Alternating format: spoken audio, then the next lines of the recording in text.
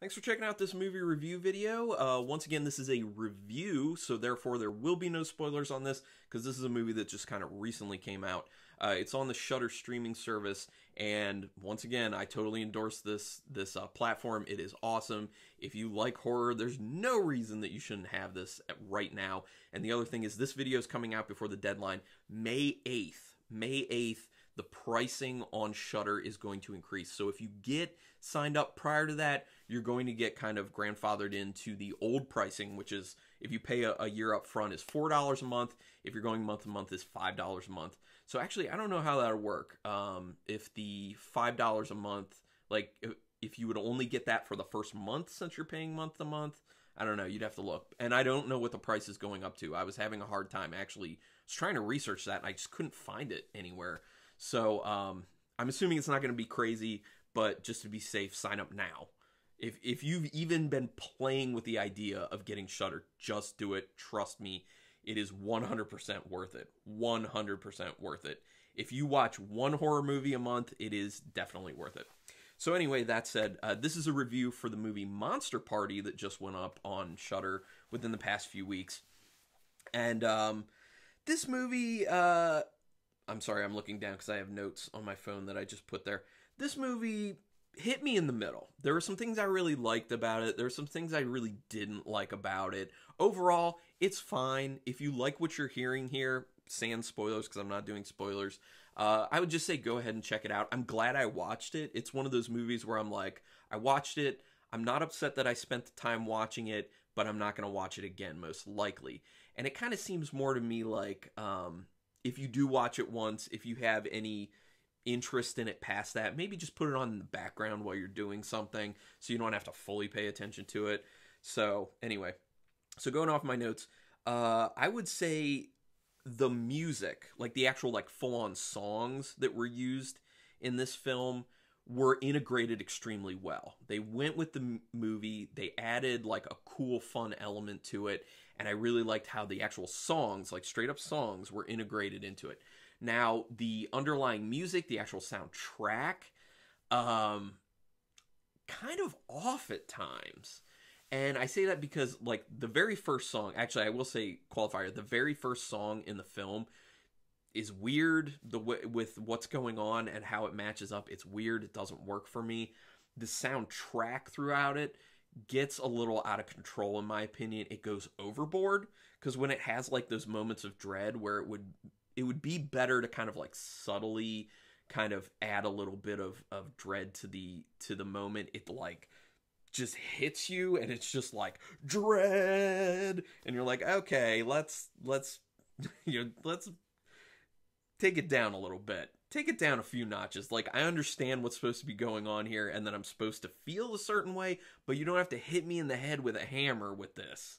So that just kind of bothered me. That was one of the big things. Like they just need to pull it back a little bit with that stuff.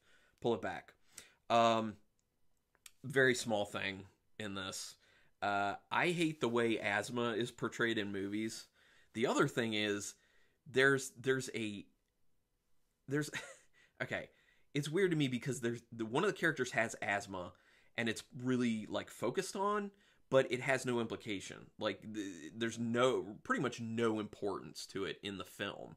And it's just kind of a throwaway thing where i'm just like why was that even in there? But my but my, my issue with the portrayal of asthma in films is it's not like a big thing but i actually have asthma so like i've had to use inhalers before. Thankfully i'm on some medication where it takes care of my allergies and my asthma at the same time. So I haven't really had to use an inhaler in a while, which is nice. But the way people use inhalers in movies, they're just like, and then immediately you actually have to hold it like for a while because then it's like in your lungs and it's actually like having your bronchia, bronchi, I think, uh, expand so you can get more air capacity, uh, more air lung capacity, more lung air capacity, whatever. So, but it's just a minor thing. It's just like a personal pet peeve. I know a lot of people would see it and just be like, yeah, whatever, doesn't bother me at all. Just saying, that's a small thing. So there's a really weird moment in this film that really threw me off, and I was like, this doesn't feel like it fits. You should take this out. Uh, it's actually comes off as being really stupid because there's nothing else in the film that is like that. It's just like this one moment where a character has an aside to the camera and it, they break that fourth wall and at no other point in the film does anyone play to the camera or talk to the camera or even look at the camera. So it's like why? Like why did you do this? It just like it it it's like a, a skip in the record and you're just like, "What?" It's dumb, it doesn't make sense. It's just I hated it. I, I thought it was a very poor choice. You really just like messed up the flow of the film and and you make audience your audience be like, "Why? Like why?" especially in retrospect after the film's done. Like, why did you put that in there? There was no point. It's like the asthma thing. Like that character with the asthma, no point. The aside to the camera, no point. Like, why are you doing this? And breaking, once you break the fourth wall, you need to integrate that into the film. You need to make that part of the film because breaking the fourth wall is a big no no in filmmaking. So if you're going to do it, you need to play to it. You need to incorporate it into the actual story. And they didn't, not one iota. And it was just like, okay, that's dumb. Um, so uh, overall acting, a few of the performances in this were really good, really well done. Like, um, you know, Robin Tunney is is like the one like the bigger of the names. You know, she's from like The Craft and she um, she did a pretty good job. There were a few other people who did a pretty good job, but there are also some people that were really over the top. Well, actually, I'd say between just over the top and really over the top. They kind of fit in the middle of that. I don't know why I did it like this. It's like, well, I guess because it's like a graph going up. So yeah, like in the middle of it is um yeah. There's some really over the top type stuff, and it's uh acting wise, and you're just like, all right, just like the the soundtrack issue, you're like, tone it down, please, tone it down just a little bit for me. But overall, I thought the acting was pretty solid appropriate enough. Um, one of my big issues, I always have issues. Th- this isn't an issue with the, the movie itself. This is an issue with people putting out movie trailers, period. I, I always have issues with movie trailers. Well, not always, usually, because they show too much of the film. Literally, there are times where I go to a theater, I see a trailer, and I'm like, I just saw the whole movie. I don't even need to see that. And literally, there are times where seeing the trailer will make me not see the movie because I'm like, that's the movie. I, I don't need to know anything else. I don't care to know anything else. That's it. You gave too much away. I'm done. I'm not watching it.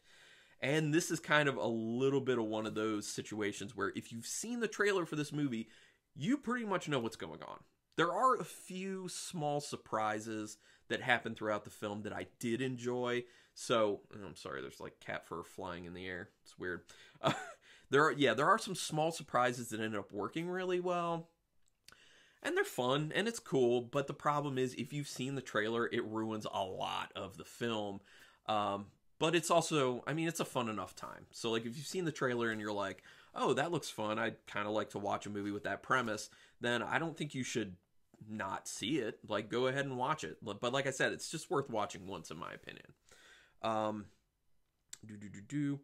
Uh, although I will say there is a small, small payoff to having seen the trailer and then seeing the movie. Is there some double entendre that ends up going on in the dialogue, especially in the mm, probably like first half hour of the film, where if you've seen the trailer and you pretty much know where everything's going to end up going, you see the double meanings in what's being said, and you're just like, oh, okay, that's clever. Because there is some clever dialogue writing. There's some not that like some pretty cliche dialogue in here, but there's I think there's more cleverness in the dialogue than cliche. So it's kind of a mix. Um, it's not a super original script, to be honest. Um, but like I said, I just did a, a review for an independent film called The Fear Footage, and one of the things I said in that review, which you should check out, is um, it, like it, we're getting to a point where there really aren't any super original ideas because everyone's kind of influenced by some films because there's so much film out there at this point. So I don't really like fault the people who made this film for it not being super original. I'm just stating like going into it, just know it's not super original. There's a lot of I I mean it's kind of a face value premise in a sense, but it's a fun premise. Like I enjoyed it. It's it's worth seeing this premise played out. Like it's good enough in my opinion. It doesn't you know, make the film bad. The premise is a, a decent premise. Um, like I said, there are a few solid twists in there, some more enjoyable than others, but I think it's enough to keep you going.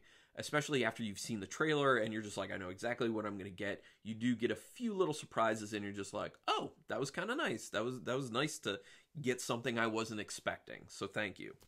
Um, and then you know, and I'm I'm doing a rating on this, and I was gonna rate it higher until the very very end of the film happened, and I was like, mm, okay, because they went from being able to stop it at a logical, uh, like good point to going just going off the cliff and being like, let's just do this instead. Let's take it further, way further than we need to, way for, further than we should. Especially because what ends up happening in the very, very end has implications with the one of the main characters. Where like there's a whole goal, there's a whole outcome in this film for this character that would tie things up, that would take care of stuff. And then what they do in the very end has implications that nullifies all of that and just makes it like, and nothing basically mattered in a sense. And it's like, come on. You didn't need to. It seemed kind of more like, let's get crazy. Like the filmmakers were like, let's get crazy now because we can. Like we have a little bit more on the budget. Let's go nuts. Let's have fun.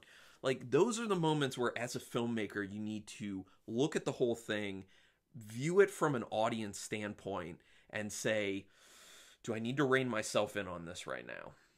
Do I need to stop myself from doing this or is this okay? Will this be good in the film? And I know there are probably some people who watch it and were like, yeah, that's what I want because it goes, it feeds to a certain feeling that some people may have. And I'm not going further in in uh, defining that because I don't want to spoil anything with it because I think if you have had interest, you should watch it. But, um, like, I understand there are probably people who are like, oh, I really like the ending of it. And if that was you, comment down here and let me know why. That's fine. Um, it's just my personal thing. Obviously, all my reviews are just strictly personal opinions. So, uh, it's going to be different for everyone, and that's good. That's what makes the world go round. So, um, yeah, for me, it just it, it went over the top, and it it made me not like it as much. So I was going to go ahead and give this film out of three, out of five stars, uh, with halves included. I was going to give it a three, but with that ending, I'm knocking it down to a 2.5 because I feel like it undid a lot of the stuff I kind of liked about it. So it firmly put me in the middle. 2.5 out of 5 is right smack in the middle.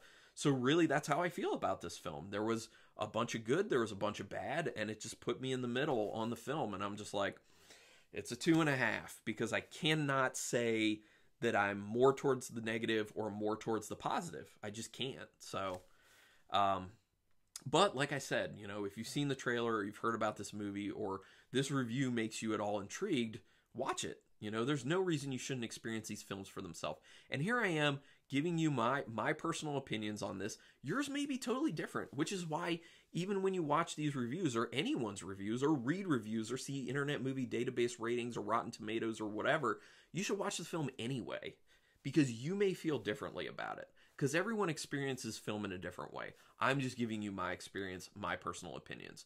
Check it out for yourself. That's what I'd say for everything. But anyway, that kind of uh, wraps this up for me.